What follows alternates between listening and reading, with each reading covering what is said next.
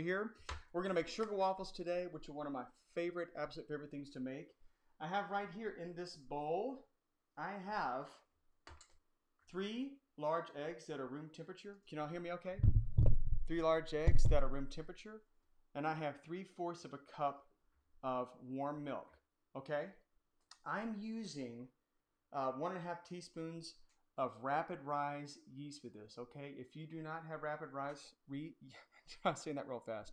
If you don't have rapid rise yeast, you can use just regular active dry active yeast that's not uh, quick acting. And all you do, you get your dry ingredients and you mix your yeast with your flour and your salt. Okay, I'll put the recipe on here after this is done. So the flour and the salt and the yeast are in this bag. Okay, milk, eggs. I'm to whisk this together, and then I have some melted butter. It, can everybody hear me okay now? Y'all hear me okay? Great. Awesome. I'm so sorry about that. I have no clue. The Wi-Fi decided to freak out on us. And I'm going to move this over here so I can see this a little better. All right. The eggs and milk are together. Now I have some butter over here that I have, and Hudson, you can do a split screen if you want to, but everything looks good, okay? I have some melted butter here. And this is a stick and a half. Yes, I know. That is a lot of butter. I did not say these were healthy. I just said they were wonderful. So I'm going to whisk this butter in like this. Can you all see that okay? All right. Yeah, he can pan out into that camera though. Oh, okay. Just pan out of this too close. All right. You see how that's really becoming smooth right there? That butter and the eggs and the milk is kind of, it's called an emulsion. It's making like a, uh salad dressing. You get a an oil and a water together, and you whisk it, and then it makes it come together into one one nice smooth mixture. So that's my butter in there. I'm gonna put this over here. Okay, I'll make sure all that butter is in there. Y'all, these are so easy. Okay, it's just a little bit of prep work, but once you do these few ingredients, I'm going to mix in. This is all-purpose flour. This is um, rapid rise yeast and some salt. Okay. I'm going to mix all that in there, and I probably should have taken the whisk out because I need actually a spatula to do this. So I'm going to make a really big mess. I got right here. All right. Let me get this whisk out of here. Don't you love that whisk though? Is that not cool? Got that Williams Sonoma. It has a little rubber spatula on the actual whisk. I think that is so cool. So you can actually scrape the bowl. So with this spatula, all I'm going to do, again, these are so easy. They come together so quickly. The most difficult part for me in this is waiting. So uh, once you mix this together, you're going to have to cover this with a tea towel, cover it with uh, foil, plastic wrap, anything that will keep it from drying out, okay? Once this totally comes together, I'm going to scrape the sides of this. You see how that's really come together? It's very, very sticky, but as it sits there, you're going to let it sit for an hour covered in a warm place, okay? If you do, uh, I've done this before when I was first making this, and I put it in the bread proof setting in the oven, which was not good because even though that's only 100 degrees, 100 degrees makes butter turn liquid, okay? so, if you have this butter in here, which you do have a lot of it, if you get it above too high of a temperature, as it sits, the butter's going to start leaching out. Does that make sense? It's going to start separating from this, and it's going to make it really greasy. But if you keep this, uh, you know, 75-ish degrees, 75, 80 degrees, you're totally fine. Okay, so look, this has totally come together. It's really smooth. I'm going to scrape down the sides of the bowl. Okay, that's it. Scrape this on here. Then I'm going to cover this. and then set this in a warm place for, again, an hour. I do an hour. Well, because I care, I've already made another one for you, okay? See how much that's risen? It's not sticky anymore. You can actually touch it. It won't stick to your hands. This is called pearl sugar. It looks like, almost like rock salt, Epsom salt. Um, I got this online. I've never seen this in stores. I bet you could probably get this at Whole Foods. Um, this is the bag. They do not have this on Amazon, this particular brand anymore, but that's what it is. Belgian Pearl Sugar is what it's called. Okay. And I honestly can't remember what, remember what I got this big bag for, but it, it, was not bad at all. Okay. So I've got a cup and a half of this sugar. Okay. Yeah, this is my pretty dough. That's oh, look at that. You see, it's really risen. I'm gonna deflate it. I'm gonna pour a cup and a half of that sugar in there. Okay. And then I'm just gonna start. You can be pretty rough with it. It's already risen like it's supposed to, so you can't really do any damage at this point. Um, it's gotten to relax, sitting there too for a while. The gluten and the flour starts to relax. And the reason why I do the sugar now instead of earlier is because if you mix this in and all this stuff is wet, this stuff will start to dissolve, and it kind of defeats the point of these little sugar pockets. So, look at that. That looks that looks really about perfect. Do you have any questions? I'm about to start cooking these. Y'all, I'm so sorry about the technical difficulties. I don't know what happened. They all want to know what your spatula says. what my spatula says. Um, I got this at Sur La Table, and it was on clearance because it was. When was that, babe? Was it was it in It's after January? Halloween, It was after so, how yeah. it was probably in January, and uh, that's a Halloween spatula says bone Appetit. Get it? Because yeah, Bon Appetit. Okay, so I have a little trusty ice ice cream scoop. I bet this thing is 20 years old. I don't know. It is a one and five eighths of an ounce scoop. Okay, you can do bigger. I wouldn't do any smaller than this, and I think this is about a. It says on here right here 20. So I don't really. I'm not very familiar with scoopers. I just know I have this one, and it works great. So I'm going to scoop out a good sized portion like that. Okay, and yeah, I'm gonna get all of my hands. Okay. Overhead shot. That waffle iron is definitely ready. I have this on the lowest setting. Okay, this is this is really hot. I do not grease this at all because there's so much butter in here. So what I'm gonna do? Put one right there. Right there. And again, if, if you find that you really love these, which I'm pretty sure you will, you can actually double the recipe.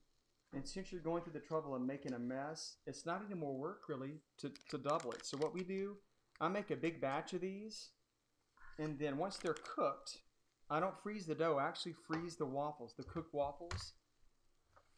Put that down. These will take, gosh, maybe two minutes, two and a half minutes, just depending on how hot your iron is. But we will cook all of these, let them cool completely, and then I'll put them in a Ziploc freezer bag and freeze them.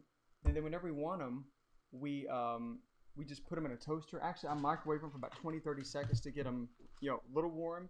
And then I finish them in the actual toaster oven, and get them really crispy. So, quite nice. Can y'all still hear me okay?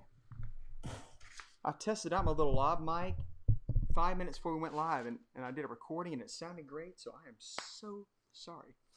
Ruth Catlin wants to make sure you're going to post the ingredients afterwards. Ruth, I absolutely will. I'm sorry, I'm clean. I'm got this stuff all over me.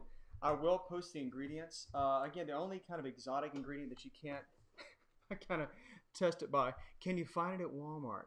Uh, I have not seen sugar, pearl sugar at Walmart yet. All right, if you don't want to do pearl sugar, which I really, really recommend pearl sugar. If you don't want to do pearl sugar, you can also get sugar cubes. Okay, get a sharp knife and just kind of put it over the sugar cube and hit it it will obviously break that sugar sugar cube apart. Uh, you won't get as big a chunks as, as the oh my word, those look beautiful. You won't get as big of a chunks as you will with the pearl sugar, but that, that will still work if you want to get out. Pearl sugar is actually made from the sugar of beets. I just found this out, which is really interesting. It doesn't taste like beets. It just tastes it tastes like sugar, and it's it's amazing. So I have my tongs here because I've tried to take these out before with my hands, which was not not smart because when you have molten sugar, sugar that liquefies, you don't want to touch that with your fingers because it's like napalm. It just sticks to your hands. Ah, just like that. Look at that. Aren't those pretty? Can you see those, Hudson? Mhm.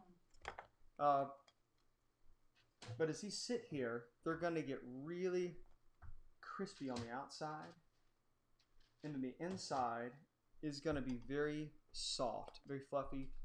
And I love these because, as you know, most most waffles are made. They're they're like a quick bread. They they use a leavener. They use a baking soda, baking powder to make them rise, to make them puff up.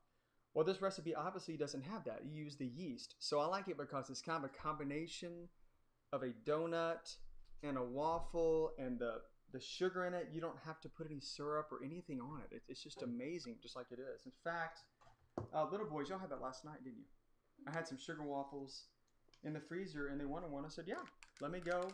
Let me go. Just warm a couple up." And within five minutes, they had just like it was a fresh, a fresh sugar waffle. Did you But say you warm it in the toaster oven? Yeah, I, I, I thawed out a little bit in the microwave at first, and then I um, I finished in the toaster to get the outside a little more brown and crispy. Because if you do the microwave, it can get kind of soft and rubbery if you do too long in the microwave. So I do it in the microwave just long enough to thaw it out, really. Um, so I'm gonna do just a few more. You see how quickly they go? I mean, it's really not even two minutes, and they are they are set. Bonnie wants to know if you don't have a waffle maker, can you make it a pancake? Uh, on the griddle? Yeah, yeah, it, it, it won't be the same. Uh, it's just like the difference in having a pancake or waffle. You know, the pancake are more soft on the outside. I guess if you fried in butter, pancakes and butter, they have more of a you know a crust in there like at a Cracker Barrel. Um, but most waffles that I've eaten that, that I really enjoy are more crispy on the outside, have more of a firm exterior. So you won't really get that same uh, texture, which I think is so great because the contrast of the texture of the soft inside and then the crispy outside is just is amazing. But if you don't have a waffle iron, you can totally do these just on a griddle and a pan. It, they'll still taste great. You just won't. You might not get the exact same experience as far as the textures, but the flavors will be will be awesome. Charles Piper wants to know if you greased or. Chuck, hey Chuck, um, I don't know. You know, Chuck gave me a recipe. I'm gonna put in the new cookbook actually. Oh, Those little graham cracker things. Um, no, Chuck, I do not grease at all because this has so much butter in it. It is not necessary. I think if you greased the waffle iron, or even if you do it in a skillet, again, I haven't done it in a skillet. You might need to put a little Pam, just a touch. Um, I'm afraid if you grease the waffle iron, it would make it too greasy. It would make it too heavy. So um, I think these are really about done. Does does some little boy want to come and try this? Does someone want to come and try it? Come here, buddy. Come here, Carden. Okay. Ooh, come here. Okay. Can I see that? I- I'm gonna break that open. You got to get a good shot of that? Look at how you break that open. See how soft that is? It's just really, really soft. Carden, you want to try a bite of that? Come here, buddy. It might be too hot. Well, here, let me want it. Okay. And even if it's terrible, say, "Oh my word, that's amazing." Mm. It's good, isn't it? Yeah. All right. Yep. Yep. That's great. Oh, so good. Oh, y'all, please be careful.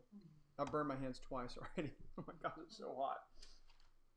Any questions about these or anything that I fixed or about, I don't know, Bill Gaither's hair or, They want to know what food is next. oh, sorry, that's really good.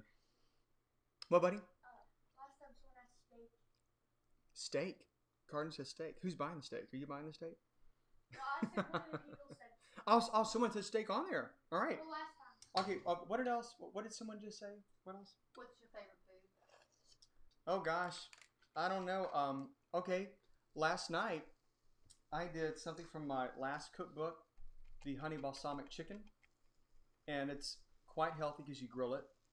Uh, you can grill it outdoors, or you can do it in a skillet. If you do it indoors, you have to wipe out the skillet after every cooking because the sugar, or the brown sugar and the honey in it, burns. So if you don't get that out there, it'll all your chicken will be burned tasting up, up from the next batch. But that's one of my favorites. Is what we had last night, and it's so easy. You just pour everything in a baggie, let the chicken sit there for a while, and then grill it, and then pour some reserve marinade that you set aside before you you know put the chicken in there, and you pour that over the top, and it soaks into it while it rests. It- It's it's fantastic. I've done pizza on here. I love doing homemade pizzas. We did not do that this past Sunday because we've done it I think for a month every um, Sunday for a month. what what did we do for dinner last Sunday, guys? I didn't do Panko pizza. chicken Oh yeah, I did panko chicken, which was funny. Yeah, and we did uh, homemade mac and cheese. Uh, Andrea, Andrea's mother, we call her Emmy. Emmy's mac and cheese. I made that Sunday night, and that recipe will be in the cookbook as well. So, for, I'm sorry. Go ahead. Well, Brenda Gerard uh, watched your dinner conversations with Dad. Oh yeah, yeah. She enjoyed. Did you enjoy that? Yeah, that if, if y'all have not seen that, um, my father-in-law did, and I did, an episode of dinner, dinner conversations with Mark Lowry and Andrew Greer, and uh, it, it was really great. It was on suicide, and I think it's something that people people need to talk about. It's it's a very very important, serious um, topic right now that uh, that doesn't need to be swept under the rug. So, I had the privilege of singing a couple songs. I did um I'll pray for you. yeah I did I'll pray for you, and I did. Uh, I will go on. I will go on. Thank you. I can't think. I did both of those, just just with uh, piano. Andres Ortega's watching from Argentina. Argentina. Hey, don't cry for me. Does this recipe Sorry. come with a gym membership?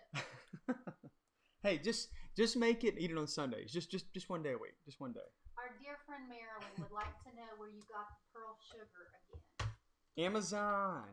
Everything's from Amazon now. You know. And that's literally called Belgian It's called pearl yeah. Belgian pearl sugar, and uh, it it looks like rock salt. It, it's amazing. But Hudson, I mean, yeah, your name's Hudson. You mean you see all it, it just it falls out, and that's that's okay. That's okay. It's, it's gonna fall out because you use a lot in here. But you see how quickly these these cook? I mean, that's just amazing. But again, it has a yeasty flavor like a yeast donut, which is, if you don't know, one of my favorite things on the planet, a fresh donut. And uh, gosh, I got to my fingernail. That was burning through my nail. Um, you know, I've, I've tried to do donuts many times, and they turn out pretty well, but there's so much work. There's so much work, and they're so messy.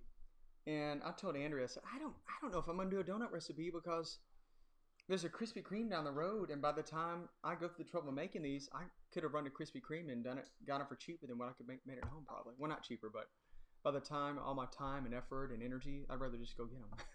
Katrina Hansen wants to know what album I'll Pray For You is on. It's on Pure and Simple. Pure and Simple. If you don't have that album, it is a, it is a great album. It's it's very uh it's very pared down instrumentally. There's not any big instrumentation. It's basically kind of like an unplugged sound. You know, just just acoustical instruments. Uh, it's it, it's a really great album, and it's got some great songs, including "I'll Pray for You." Great. one. Donna Kelly says, since you've traveled so much since joining the GVB, how are you, Andrea, and the boys adjusting to being together 24 7? Well, that that's a good question. I think for us, we are fortunate because we homeschool. Um, Andrea does, I say, you know, 90 90% easily of the homeschool, but but I do chip in. Grammar's kind of my specialty. But um, we're we're used to being together a lot, so for us, it's really not much of a change. You know, the boys. Um, I hate for the boys because they haven't been able to see their friends at co-op and at church. So that's probably been the toughest thing for them. But you know, in all honesty, even though I'm not working, yeah, it's it's stressful at times when I think about, you know, I have no income coming in. Um, but at the same time, you know, we're just we're trusting and we, we know that we are going to be just fine. And uh, I'm I'm enjoying time at home. I'm enjoying getting to to do these things with y'all and um, you know correspond back and forth as we do this. So uh, please feel free. Also, if, you could do me a favor, everyone that's watching, if you could subscribe to um, to this channel, to my Wes Hampton channel. Anytime I go live, anytime I schedule something live, it will notify you so that you know. Okay, yeah, Wes Wes is going live. You know tomorrow, and then I believe I think it's 30 minutes before you'll get another another notification. So I, I will never email you, try to you know sell you anything. I just I want to uh, be able to connect like this. So like it, subscribe, share, all that stuff that they all the all the kids say. well, you can tell them what you've been working on. Yeah, I have a 40, I think 47 or 48 recipes done for the new cookbook, and I was wanting to do 50. I'll probably end up doing a little more than 50, but I've got the stories done for all those. Uh, most of those have pictures. I'm going to put some some uh, some candid family photos in there, some vocal band photos in there, some stories. So uh, be looking for recipes volume two, probably the end of the spring. or early summer. So we're excited to get that out. I have plenty of time to do it, so I might as well do it. Any other questions before we sign off? Thank you so much for joining. And again, I'm so sorry about the technical stuff. I have no clue what happened. No clue. Okay, I've got one more. I would say these. Uh, let me do about 20 more seconds. So we're hearing stuff for next week. What what, what did someone say for next week Uh, to make? Uh, I didn't see any suggestions. no one has said anything. Okay, okay. Well, if you do have suggestions, just write those in, and we will um we'll see what is the most popular, and then I will I will try to do that for next week. So, y'all, please stay healthy. Please stay safe. We're still doing the social distancing like we like we should. Uh, I had to go to the store the other day, so I put my mask on and took my uh, Clorox wipes with me and my hand sanitizer and all that, and I try to stay away from people as much as I could. So, wow, that's really hot. Um, well, I believe that's all she wrote. Um, thank you so much again for joining us. I hope y'all have a wonderful rest of the week. Y'all, please stay healthy, please stay safe, and we will see you next time. Bye bye.